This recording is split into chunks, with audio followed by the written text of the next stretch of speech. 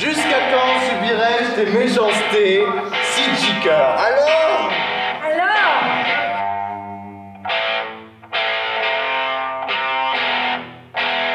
Vous êtes d'une arrogance sans limite et cela vous perdra Vous m'excuserez, monsieur le professeur, mais j'estime que je ne vous dois rien.